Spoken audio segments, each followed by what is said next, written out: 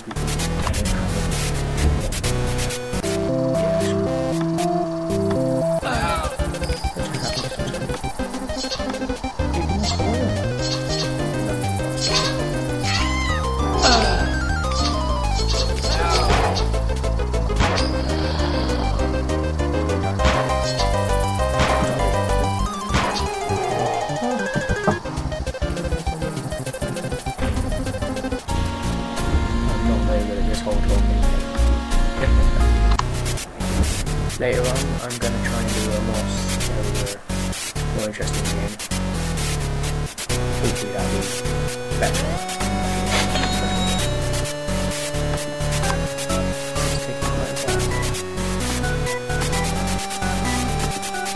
Focus on I play when